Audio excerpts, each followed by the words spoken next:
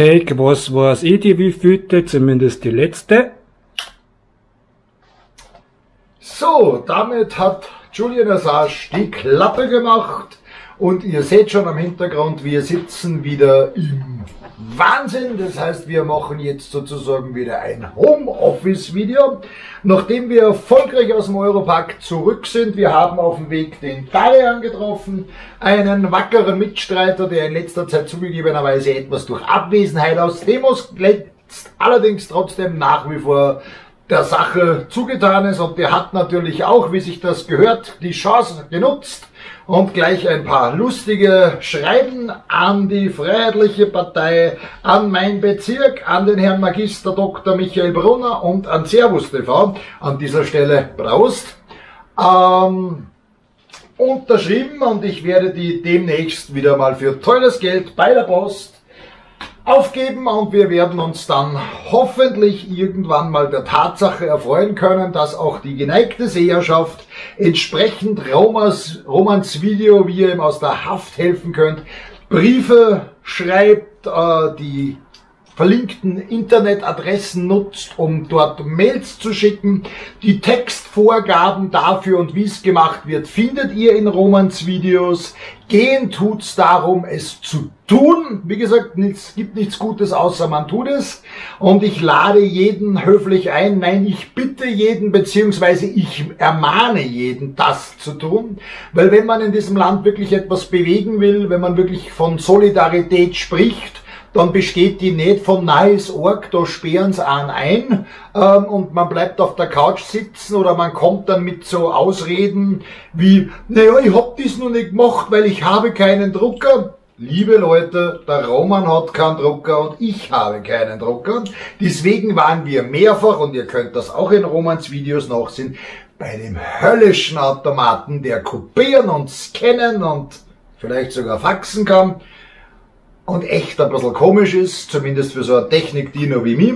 Man kann diese Texte daheim vom PC auf einen sogenannten USB-Stick, die technisch neueste Erfindung der 90er Jahre, 2000er, egal, ziehen und dann dort einfach ausdrucken. Und wenn man dann so ein handgefertigtes Kuvert nimmt und dann da einen Absender draufschreibt und den Empfänger draufschreibt und das Ganze eventuell vom kompetenten Postmitarbeiter frankieren lässt oder einfach ein Briefmarker draufklebt und das in den Postkasten schmeißt, dann kommt das dort an und dann hoffentlich sehr zahlreich und dann weisen wir einmal mehr darauf hin, dass vielleicht in diesem Land einiges im Argen liegt dass einiges im Argen liegt, ähm, darf man an dieser Stelle feststellen.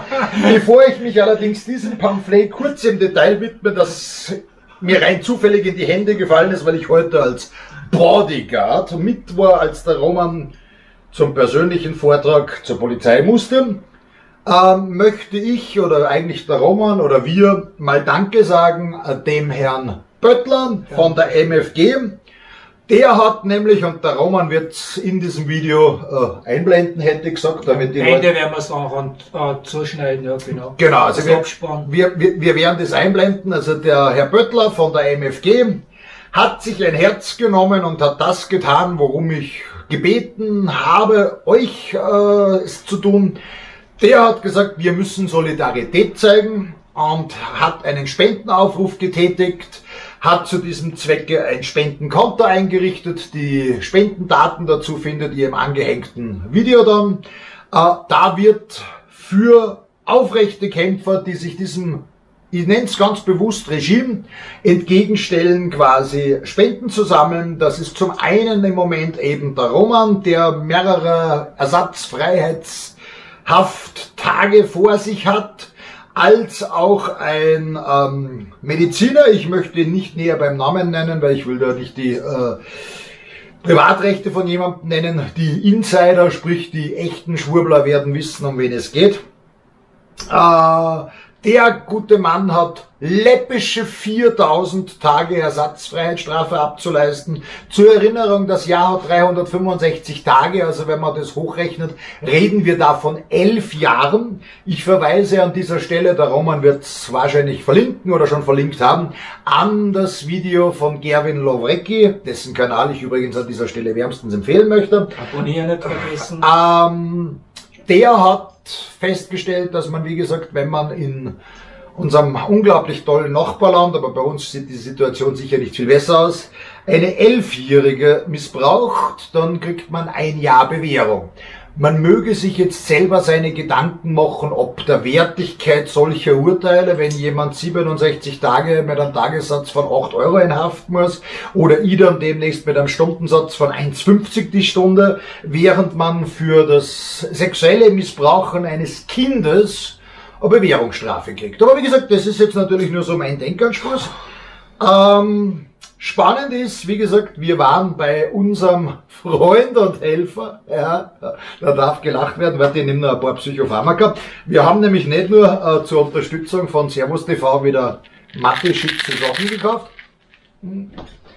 Da braucht man gescheite Leute an sondern wir haben gemeinsam sicher aus der Krise einen Infofolder unserer Polizei, also genau genommen ganz offiziell vom Bundesministerium für Inneres. Ihr wisst schon, das ist da, wo der aktuelle Kanzler früher Innenminister war und dann einen Terroranschlag zu verantworten hat, aber nur so viel nebenbei in dieser Wahldemokratie. Hm? Da gibt's jetzt einen Infofolder, so sieht er aus. Und der widmet sich dem brandgefährlichen und sehr aktuellen Thema der Verschwörungstheorien. Ich zitiere original aus diesem Machwerk. Verschwörungstheorien. Vor allem in Krisenzeiten oder bedrohlichen Situationen können durch allgemeine Verunsicherung Verschwörungstheorien entstehen. Durch das Internet und Social Media werden diese innerhalb kurzer Zeit schnell verbreitet. Doch nicht alle sind harmlos und ungefährlich. Hört, hört. Was sind Verschwörungstheorien? Unter einer Verschwörungstheorie versteht man im Allgemeinen die Überzeugung von einer geheimen, geplanten Weltverschwörung, bei der bestimmte Ereignisse oder Situationen von geheimen Mächten in negativer Absicht manipuliert werden. Das lasse ich sogar so mal stehen. Verschwörungstheorien erkennt man an folgenden Merkmalen. Nichts ist wie es scheint. Alles ist geplant. Nichts, was geschieht, passiert durch Zufall. Alles ist miteinander verbunden. Alles, was rund um uns geschieht, sind Täuschungsmanöver, um davon abzulenken, dass wir manipuliert werden.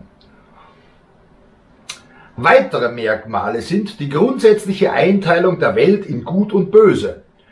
Das würde ich jetzt eher unserem etwas dementen ersten Mann im Staate, ich nenne ihn der Form wegen immer den letzten Bundespräsidenten, das war jetzt kein Wortspiel. Ich meine nicht damit, dass er der Letzte ist, sondern er ist halt der, der jetzt in der Bundes, äh, in der, in der, in der Wahldemokratie, also in der Geschichte der Zweiten Republik, als Letzter dieses Amt innehat. Ähm, sagen, der unterscheidet in die Guten, das sind die, die geimpft sind und die für die Russland-Maßnahmen sind, also Sanktionen sind, und die Bösen. Also ich würde nicht sagen, dass der geneigte Verschwörungstheoretiker diese Welt in Gut und Böse einsieht, aber egal.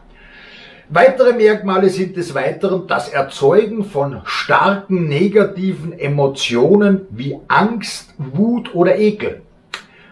Ich glaube, dass die Aussage, sehr schöner Einwurf, dass wir alle bald einen kennen werden, der Gesundheitsminister, Kanzler, nein, es war was anderes, der, ach ja, an Covid verstorben sein wird, eventuell so eine Aussage mit Angst schüren ist.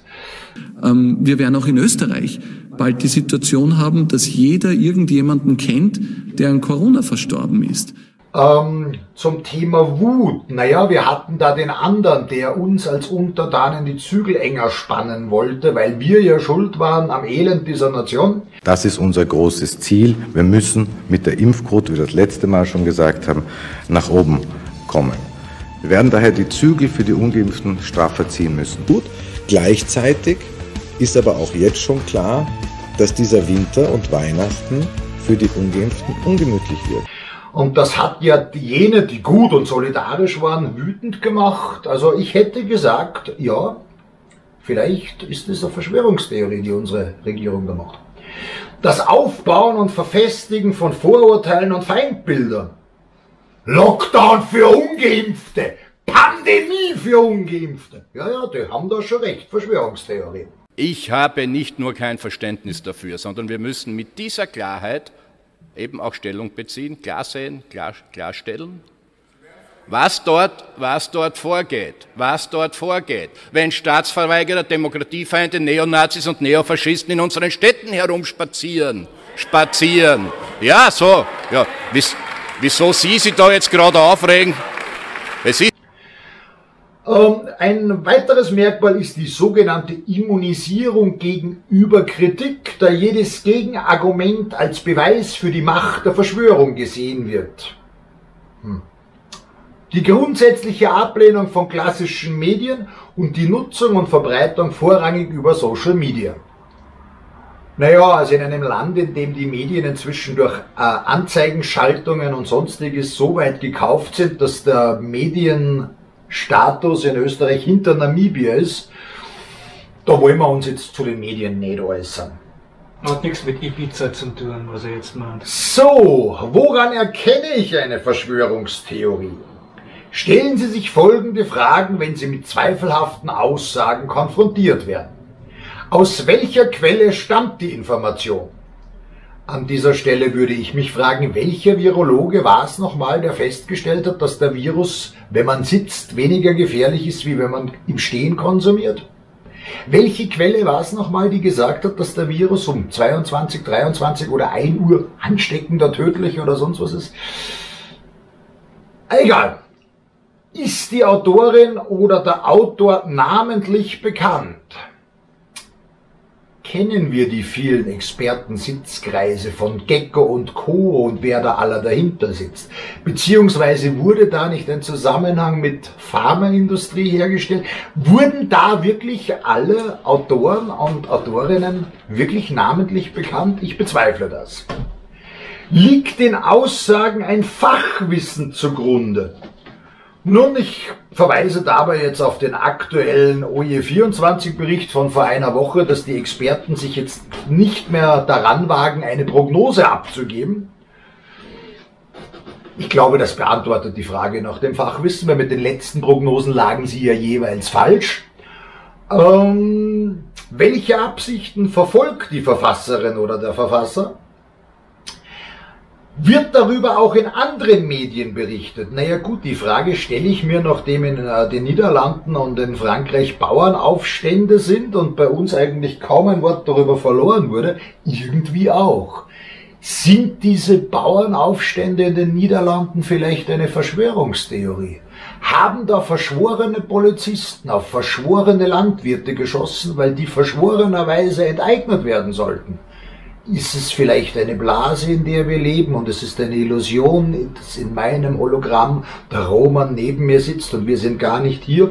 Ich glaube, wir brauchen ein paar Pillen. Du sagst es, du sagst es. Hm. In welchem Tonfall ist die Meldung verfasst? Ganz wichtig. Fakten kommen immer ganz auf den Tonfall drauf an. Sind sie nämlich im falschen Tonfall vorgebracht, sind es keine Fakten. So, dann haben wir das auch geklärt. Könnten die Vorfälle, auf denen die Berichte beruhen, auch anders interpretiert werden? Was für eine Frage. So viele in so einem kleinen Raum heißt auch so viele Viren, aber jetzt kümmert es uns nicht mehr. Schön, dass ihr da seid. Naja, jedenfalls weiter geht's im Text mit grundsätzlich gilt Angaben wie ein hoher Beamter, ein Spitalsarzt oder eine Wissenschaftlerin in der Genetik sind zu hinterfragen. Das stimmt.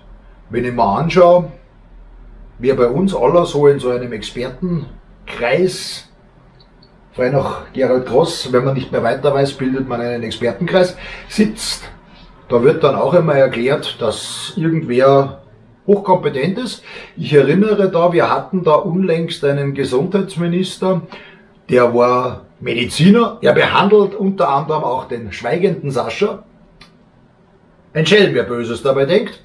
Der hat nicht ganz verstanden, wie eine, ja, äh, Injektion und das Einspritzen von irgendeiner Substanzflüssigkeit, äh, Medikamentation, wie auch immer, sich auf die Blutbahn des Menschen auswirkt. Insofern hätte ich gesagt, ja, diese vermeintlichen Angaben sind in der Tat zu hinterfragen. Also wenn ich mir anschaue, dass Dr. Sebastian Bormena einen akademischen Titel hat und auch äh, der vorhin erwähnte Mückstein äh, ein studierter Mediziner ist, dann hätte ich gesagt, ja, man sollte das wirklich hinterfragen. Aber Sie wissen schon, was das bedeutet. Sie würden jetzt doch äh, gar nicht wenigen Menschen in Österreich die Lebensgrundlage entziehen. Wieso? Wenn man nur geimpft in die Arbeit gehen darf? Nicht nur geimpft, man kann auch genesen und geimpft sein. Brillant. Vielleicht findest du ja sogar noch mal die Tassen, die dir im Schrank fehlen. Weiter im Text. Häufig stehen anonyme Quellen hinter zweifelhaften Aussagen. Ich meine, ich widerspreche dem jetzt, es ist keine anonyme Quelle. Unser aktueller Gesundheitsminister, der dritte an der Zahl, ich hoffe, der Tonfall war nicht falsch, ähm, hat ja festgestellt, wir wissen zwar nicht, was im Herbst kommt, aber wir wissen schon, woher er das weiß, ist eine anonyme Quelle, ähm, dass die Impfung schützt, wirkt, hilft, wie auch immer. Und wer sind die Experten und Experten? Nein, nein, da geht es jetzt rein um die anonyme Quelle. Also er hat nicht gesagt, woher er weiß, dass wir nicht wissen, was kommt. Und er hat noch viel weniger gesagt, woher er weiß, dass das, was wir nicht wissen, mit dieser Impfung trotzdem bekämpft werden kann. Nur mal so nebenbei. Weiter im Text. Viele Behauptungen basieren auf Gerüchten. Wir werden alle einen kennen, der an diesem Virus gestorben ist. Ähm, habe ich nur so laut gedacht. Grundsätzlich gilt weiter, über wirkliche Skandale wird breit informiert. Ich zitiere an dieser Stelle ähm, die Ausweitung des Hygiene-Austria-Skandals, bei dem es jetzt auch, es gilt natürlich weiterhin die Unschuldsvermutung, aber die brauchen ein paar Pillen.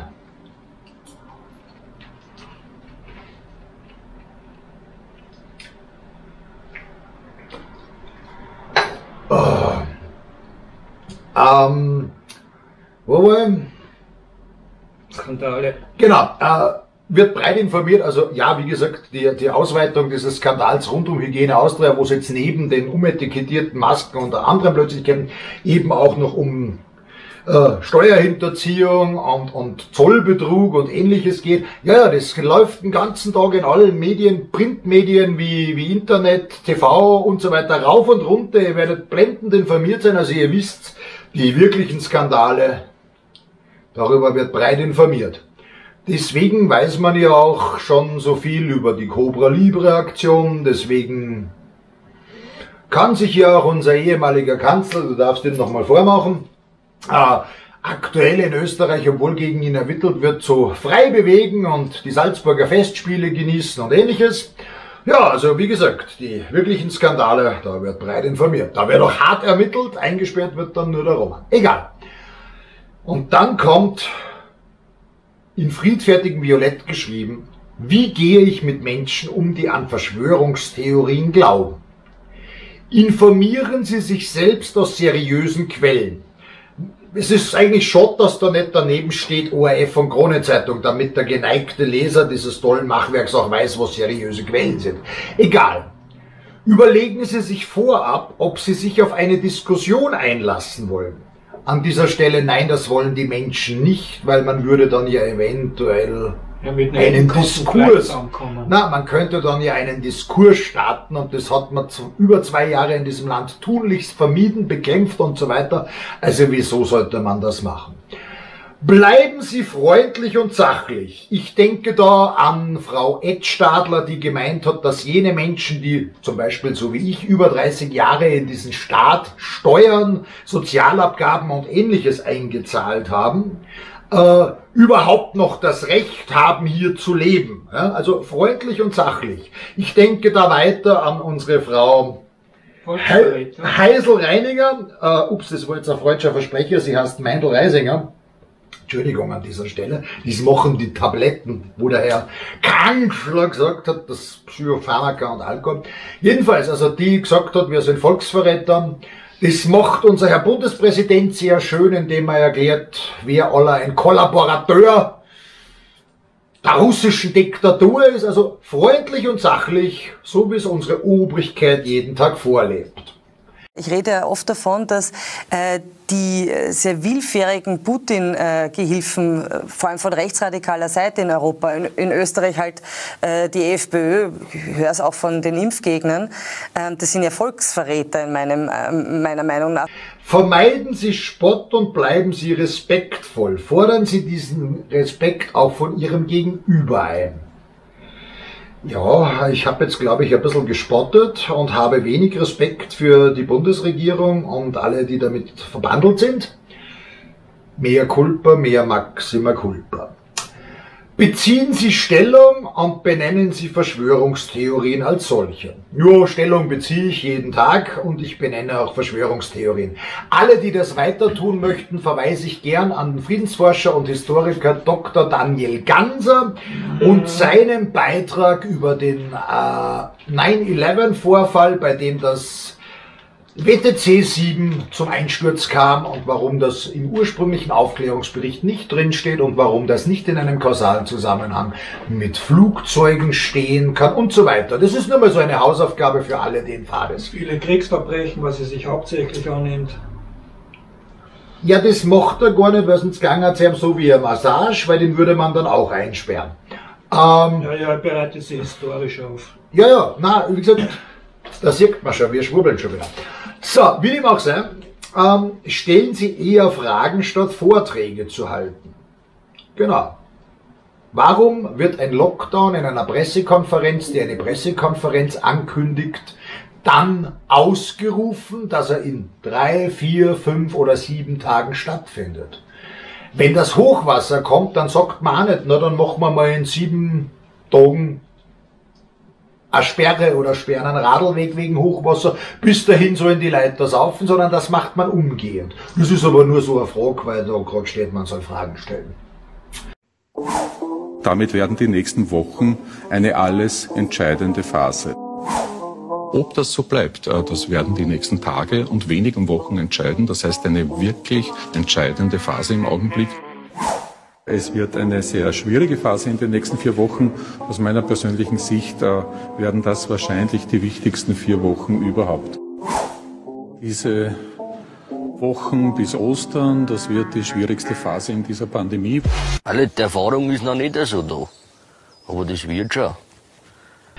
Ähm, Verschwörungstheorien sind oft unlogisch oder widersprüchlich. Genau, Tirol war militärisch abgeriegelt, weil ja die Pandemie so wütete.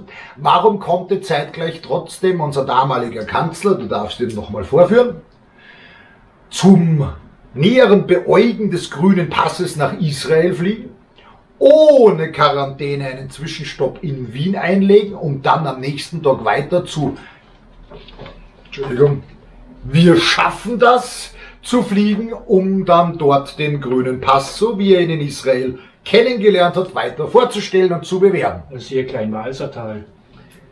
Oder auch das, ja. Also wie gesagt, da stelle ich mir die Frage der Widersprüchlichkeit. Wir werden auf das Tragen von Masken setzen die einen ohnehin nicht schützen. Es sind nicht Schutzmasken, wie sie die Ärzte haben. Die technischen Daten dazu sind nicht gut für das Aufhalten mit der Maske.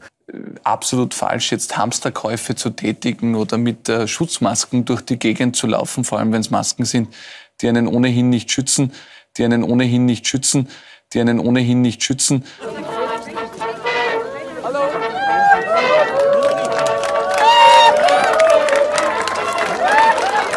Ich stelle mir auch die Frage, warum jemand, der seinen Müll im Lockdown rausgebracht hat, als vermeintlich Kranker, äh, mit einer Haftstrafe zu rechnen hat, während die oberen 10.000 beim Italiener sitzen durften nach Ausgangssperre oder zu Live is Live mit dem Popschall wackeln. Egal, das sind nur so Fragen, zwecks. Man soll sie stellen. Ähm, Ziehen Sie Grenzen, wenn Aussagen menschenverachtend und abwertend sind? Wie war das? Die FPÖ hat Blut an ihren Händen kleben. Das ist eine sehr die rechtsradikale Partei. Die Ungeimpften sind schuld.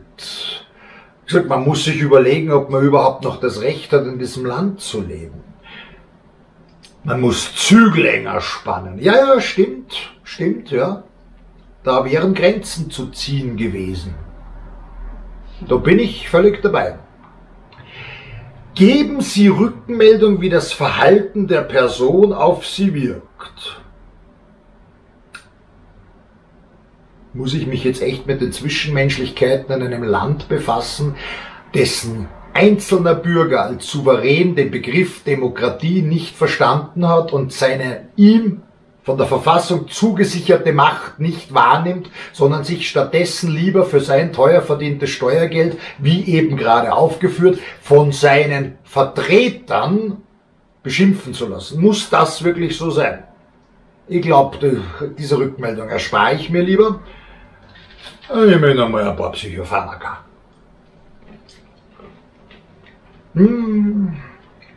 Nein, nein, da sind wir. Ja, meine. Seien Sie bereit, Widersprüche auszuhalten.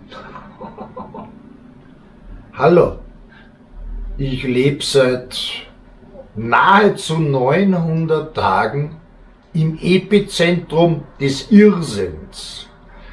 In der halben Welt, das ist jetzt ja verharmlosend gesagt, ist die Pandemie vorbei. Sie beginnt erst wieder an den Stadtgrenzen Wiens. Das ist widersprüchlich und ich halte es aus. Offiziell habe ich Meinungsfreiheit und Versammlungsfreiheit verbrieft, geschützt, zugesichert durch die Verfassung. Das ist de facto nicht immer so. Romans Seher werden wissen, wovon der Roman und ich da sprechen. Insofern, wir halten das aus. Gut. Umdenkprozesse brauchen Zeit. Haben Sie Geduld. Ja, ich hege jetzt seit 850 und ein bisschen was Tagen die Hoffnung, dass meine Aufforderung und Romans Aufforderung zum sozialen Ungehorsam, wie wir ihn jeden Tag vorgelebt haben, wie wir ihn gefilmt haben und uns damit im Netz expositioniert haben, irgendwann Nachahmer findet. Und wir hegen die Hoffnung, dass es dieses Land zu seiner ohnehin einstig und nicht guten alten Normalität, die durchaus verbesserungswürdig wäre, zurückfindet aus dem Irrsinn, in dem es jetzt ist. Wir werden ja jetzt schon 45 Tage Umdenkzeit gewährt. Das ist schon mal was Positives. Ich, na, aber ich hätte gesagt, unsere Geduld nimmt jeden Tag ein bisschen ab. Egal. In warnendem Rot steht hier weiter, warum sind Verschwörungstheorien gefährlich? Und jetzt, jetzt kommt's nämlich. Wie gesagt, ein Folder des Innenministeriums, jenes Ministeriums, das zugelassen hat, dass im Jahresbeginn 2022, glaube ich, war es, 480.000 Polizeikontrollen stattgefunden haben, nicht wegen Fahrraddiebstählen, nicht wegen sexuellem Missbrauch, nicht wegen Dämmerungseinbrüchen, nicht wegen offener Grenzen, nicht wegen gestiegener häuslicher Gewalt äh, durch Lockdowns und Co. Nein. Zur G-Kontrolle, zum Beispiel vor Einkaufstempeln in der Maria-Hilfer-Straße in Wien. Ja, also, von jenem Ministerium, dem einst unser aktueller Kanzler vorsaß, der einen Terroranschlag nicht verhindert hat, sondern elegant ausgesetzt hat, eine Verhöhnung der Opfer, eine unglaubliche Frechheit, wenn man sich darüber bewusst ist, dass es bereits Warnungen aus dem Ausland, die nämlich auch Nachrichtendienste haben und die funktionieren scheinbar besser als unsere. Unsere ist ja damit beschäftigt, ähm, auszuziehen und von Haus zu Haus zu gehen, um Gefährderansprachen zu halten bei Menschen, die gegen totalitaristische Maßnahmen friedlich demonstrieren. Ja, ist schon spannend. Jedenfalls, also dieses Ministerium sagt, warum Verschwörungstheorien gefährlich sind. Verschwörungstheorien können das Vertrauen in staatliche Institutionen und die Demokratie untergraben. Wir sprechen bei diesen staatlichen Institutionen jetzt von jener besagten Regierung, in der Menschen sitzen wie eine Pia Philippa Strache, die einen heroisch flammenden Vortrag gegen eine Impfpflicht hält um dann wenige Minuten darauf dafür zu stimmen. Eine Regierung, die auf Expertenrat das Land auf und zusperrt wie eine Toilettentür. Im Nachhinein klar bewiesen bekommt am Beispiel der egoistischen Schweden, die einfach nicht und nicht aussterben wollten, dass ihre Maßnahmen falsch sind, aber an diesem Kurs weiter festhalten. Die Liste wäre jetzt um viele Punkte zu verlängern, aber das sprengt dann den Rahmen des Videos, also selber ein bisschen denken. Verschwörungstheorien können weiter die Gesellschaft spalten und Hass schüren. Nein, hört, hört. Zu Radikalisierung und Gewalt führen.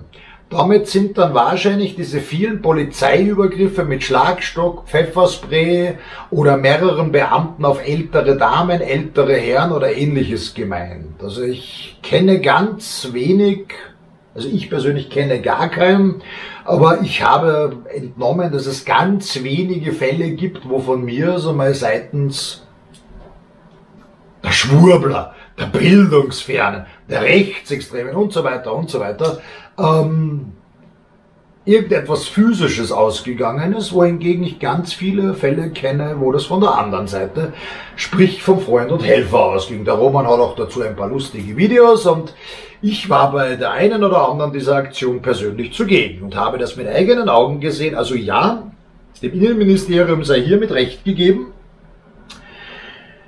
es führt zu Radikalisierung und Gewalt seitens der zur Deeskalation ausgebildeten, ich äh, verweise da auf die 3D-Regel der Exekutive, zur Deeskalation ausgebildeten und völlig widerrechtlich instrumentalisierten Polizei. Und die instrumentalisierte linke Block, möchte ich auch noch erwähnen.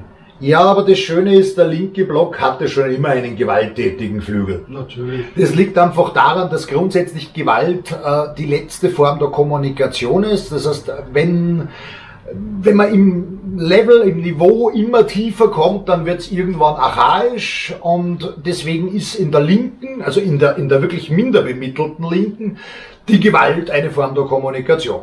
Jetzt mache ich mir sicher wieder ganz viele Feinde unter den Regenbogenkids, die unsere Sticker oberglätzen. Das kann gefährlich werden. Ja, Weiters, weiters könnten, steht hier, äh, Verschwörungstheorien so gefährlich sein, weil sie antisemitisch sein könnten, beziehungsweise Antisemitismus fördern würden. An dieser Stelle möchte ich an Hendrik M. Broder verweisen oder an Andrea Drescher. Wer das ist, solltet ihr das nicht wissen, das könnt ihr googeln und was die Herrschaften gesagt oder geschrieben haben, könnt ihr auch googeln. Ich hab's eigentlich relativ satt, hier Bildungstv zu machen. Es ist ja schon schlimm genug, dass ich mich mit Idioten-TV beschaffen muss. So. Weiters können Verschwörungstheorien gefährlich sein, gegen bestimmte Personengruppen oder Themen gerichtet sein, was zu Sachbeschädigungen oder Angriffen führen kann. Als Angriff könnte man da jetzt den übereifrigen Security im Europark auf dich nehmen. Aber Sachbeschädigung fiele mir jetzt, hm, ja, das Bekleben von irgendwelchen Litfaßsäulen oder Laternenpfosten, wo schon 200 Fußballpickel und, und sonstige oder Sachen wenn man mit dem. Wasserschlauch eine Kamera bespritzt, wie die meine Kamera. Ja, das ist ja dann wirklich eine Sachbeschädigung. Nein, ich rede jetzt von unserer Seite, wie gesagt, man könnte eine Litfaßsäule oder eben einen, einen, einen Laternenpfosten, wo schon x-tausend Fußballpickel und sonstiges draufkleben, natürlich als Sachbeschädigung werten. Aber nachdem wir alle Steuerzahler und damit auch äh, mit Finanziers dieser Allgemeingüter sind, denke ich mal, ist das jetzt nicht der Weltuntergang. Ja, weiters können Verschwörungstheorien von realen Problemen ablenken. Ja gut, also reale Probleme haben wir ganz viele. Wir haben zum Beispiel immer noch ein männliches und ein weibliches Geschlecht. Ich finde, das gehört schlängst, schleunigst und längstens aufgehoben. Ein bisschen mehr LGBTQ+, also mit gerade mal irgendwas an die 60 Geschlechtern, ohne die Objektophilen, haben wir einfach echt noch nicht das getan. Und ich finde, wir sollten mehr und mehr und mehr Kohlekraftwerke bauen. Sechsen grünen Gedanken. Also wirklich, gehen wir mal die echten Probleme an. Ne? Gut. Ähm, ja, Verschwörungstheorien könnten weiters der Bereicherung Einzelner dienen und hohe Kosten verursachen.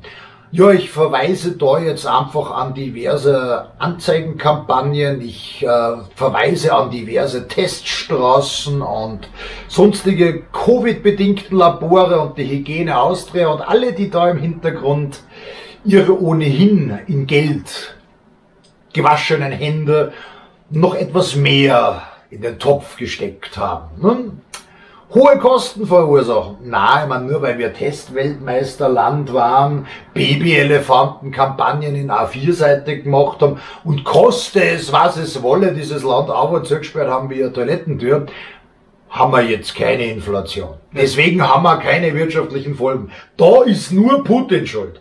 Putin hat uns zum Testweltmeisterland sein gezwungen. Putin hat uns gesagt, wir müssen auf und zusperren wie eine Klotür. Und Putin hat auch gesagt, wir müssen ihn sanktionieren, damit bei uns irgendwelche Sachen steigen. Übrigens auch der Biostrom, der gar nichts mit Gas und Öl und so zu tun hat und dergleichen. Aber die Sozis sind ja als Nutznießer dieser Preissteigerung eh total konform und machen das. Genauso wie Wilfried der Weitsichtige in Salzburg, der im Vorstand der Salzburger AG sich gerade freuen darf über Jahrhundertgewinne. Wie gesagt, wir bereichern uns nicht an der Armut des Volkes und wir bereichern uns auch nicht an irgendwelchen Krisen. Würde man in Österreich nie machen. Wir sind ja die Vorzeige Wahldemokratie, die als einziges eine Impfpflicht hatte, außer dem Vatikan in Europa. Und äh, Ungeimpfte nicht zum Friseur ließ und vom Leben ausgeschlossen hat und so weiter und so weiter und so weiter. Also ein Daumen hoch für die Republik und ihr Innenministerium. Du, es sind ja die Insolvenzen nur dreimal höher gestiegen, da ist noch was drinnen. Es gab keine Insolvenzen, weil die durfte man ja damals einfach nicht machen. Man hat ja eine Insolvenzverschleppung betrieben, das kommt ja auch jetzt erst langsam. Wie gesagt, Daumen hoch, also großes Like für diese Bundesregierung in diesem tollen Land mit diesem tollen Innenministerium. Aber kommen wir zurück zum letzten Punkt. Ähm, Verschwörungstheorie können gesundheitsgefährdend sein, wenn notwendige medizinische Behandlungen aus Versicherung abgelehnt werden. Das ist aber An dieser Stelle darf ich darauf verweisen, ich muss dazu sagen, ich verweise mit Vorbehalt darauf, weil ich habe den Fall selber noch nicht prüfen können. Ähm, Frau Dr. Rösch, selbst Medizinerin, seit Anbeginn dieses Wahnsinns, dem Wahnsinn gegenüber kritisch und auch aktiv auf der Straße, hat äh, sehr zu ihrem Leidwesen, und es tut mir auch persönlich für sie leid, weil ich habe selbst Krebsfälle in der Familie gehabt und Krebs ist nicht lustig. Äh, Leukämie, glaube ich, war's. Ja. Und der wird, weil es ja so um die Gesundheit geht. Ja, deswegen ging man auch im Winter mit Wasserwerfern auf Leute bei Minusgraden los. Deswegen hat man noch ältere Damen äh, trotz Altersgebrechlichkeit mit vier Polizisten in Wien niedergetackelt und zu viert am Boden fixiert. Deswegen sind in Tirol Zähne ausgeschlagen worden. Deswegen hat man Kinder und Rentner mit Schlagstöcken und Pfefferspray äh, behandelt, unter anderem auch in Salzburg am 9. Jänner ähm, und dergleichen. Also weil es ja so um die Volksgesundheit geht, haben wir kein einziges Krankenbett hochgefahren, haben die Pflegeberufe nicht weiter finanziell äh, attraktiver gemacht, geschweige denn aufgestockt. Aber wir lassen jetzt eine Krebspatientin nicht ins Krankenhaus, weil ihre politische Einstellung das eventuell nicht zulässt. Ja, in, diesem, Krankenhausverbot kriegt. in diesem Sinne ist natürlich Verschwörungstheorien können gesundheitsgefährdend sein. Ganz toll. Ich verweise damit übrigens noch an die gesundheitsschädlichen Geschichten von Masken und allem, was mit Tests zu tun hat. Der Roman wird da ein paar lustige Videos, wie diese PCR-Teststäbchen unter hygienischsten Maßnahmen gemacht werden, einblenden und wird eventuell auch das ein bisschen mit Masken machen. Jedenfalls haben wir hiermit beinahe diesen Folder durch. Es gibt dann noch ein paar lustige äh, Faktencheck-Seiten, wo man reinklicken könnte. Das könnte ich jetzt tun, aber die Zeit werde ich mir sparen, weil ich bin ja bildungsfern und bin ja sowieso in meiner Blase schon gefangen.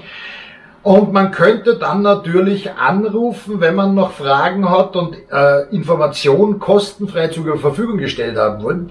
Und jetzt kommt's nämlich in der Bundesstelle für Sektenfragen.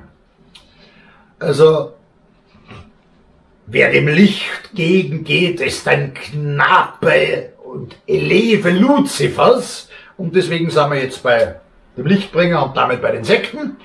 Und das unglaublich Lustige ist, dass die Adresse dieser Bundesstelle für Sektenfragen in der Wollzeile 12 ist.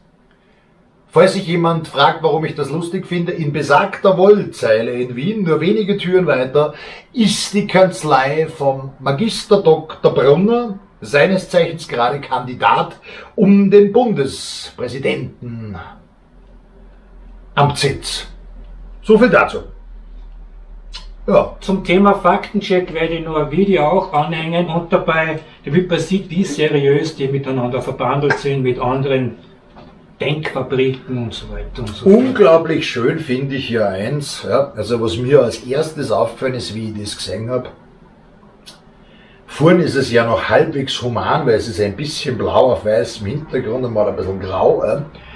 Aber wenn ich mir das rückseitig anschaue, also ich glaube, die haben das gemacht, um eine falsche Spur auf die Freiheitliche Partei zu lenken. Es ist sowas von blau. Ja? Also ich bin mir sicher, da trieft das, wie heißt das Ding, Ivermectin, förmlich aus den Seiten, wenn wir so viel Resser in dem Land haben.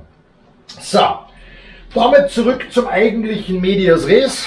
Ich habe mir erneut erlaubt, heute auszudrucken. Der Roman hat es äh, gesehen, das Polizeisportmagazin, das wir beim Bladen Kopf mitgenommen haben. Das lassen wir da einmal zur Seite. Ich bin einer, ich höre manchmal Feindsender, ich lese manchmal komische Postillen. Ne? Man muss ja wissen, was der Feind so macht. So, jedenfalls ich habe mir nochmal erlaubt, heute 10 Kopien auszudrucken an die Redaktion von Servus TV. Ihr wisst schon, Servus TV. Hm. Und wir haben da immer noch, der Roman darf da einfach einmal irgendein ins, ins Bild halten, nehmen wir mal gleich so an vom Herrn Ammerer. Ich blende es einfach auch direkt in den Schnitt ein. Na, wie gesagt, du darfst dir eh dein Video nochmal verlinken. Jetzt kommen meine abschließenden mahnen und meckernden Worte nochmal.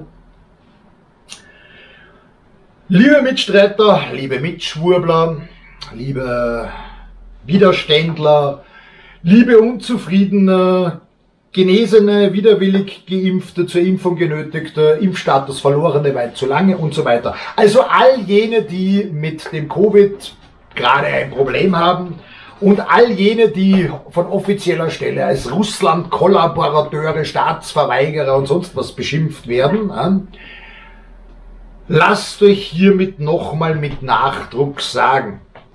Es ist heute, wir haben heute den 18. August 2022.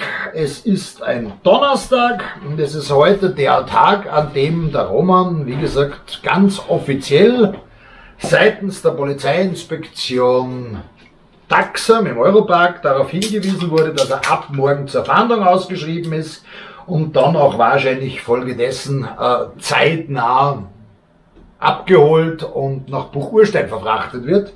Das heißt, es ist jetzt wirklich Feuer am Dach und es wäre jetzt wirklich Zeit, wenn man solidarisch sein will, wenn man seinen Unmut bekunden will, wenn man etwas tun will und nicht einfach nur auf der Couch sitzen will, weil dadurch ändert sich nichts. Das hat man in den letzten zwei Jahren verfolgen können. Wenn nichts getan wird, dann macht die Obrigkeit so weiter.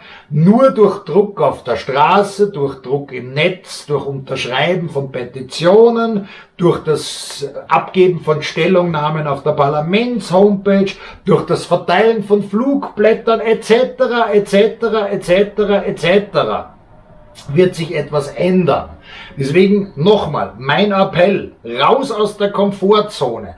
Die Preise sind hoch, der Wahnsinn galoppiert und wenn ihr auf die Straße geht, also die, die das bereits tun und ihr da ruft Friede, Freiheit und Solidarität, dann bitte ich euch, macht diese Solidarität und findet keine Ausreden, weil Verlierer und Loser finden Ausreden und Macher machen. Also macht es wie der Roman, macht es wie ich und macht Wie gesagt, es gibt ein Video vom Roman, er wird es wie gesagt verlinken. Da ist nahezu idiotensicher erklärt, wie ihr zu den Textvorlagen kommt, wie ihr die ausdrucken könnt. Wie gesagt, wenn ihr keinen Drucker habt, den Text kopieren, auf einen USB-Stick ausdrucken, unterschreiben, in ein Kuvert packen, abschicken.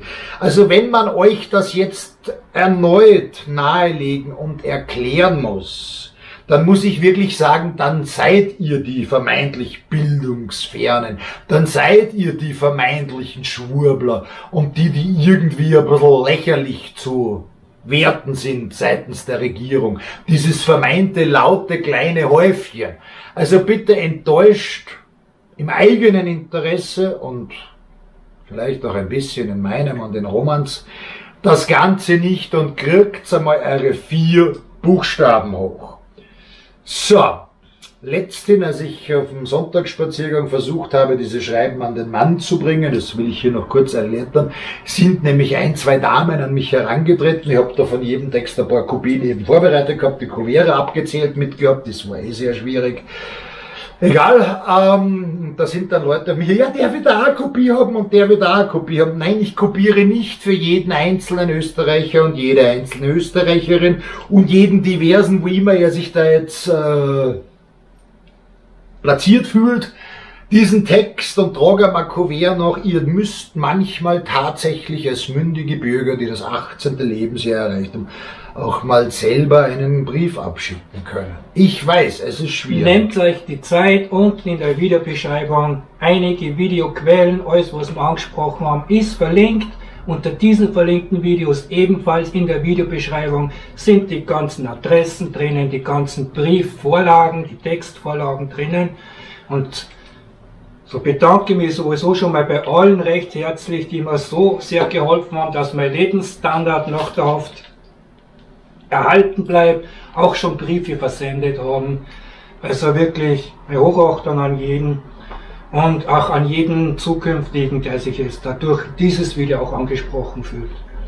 Ich möchte mich an dieser Stelle für meinen etwas schroffen Ton entschuldigen, aber ich muss einfach sagen, nach beinahe 900 Tagen der, Untät nein, nein, der Untätigkeit stelle ich mir einfach die Frage, was muss noch passieren, damit man irgendwann einmal tätig wird.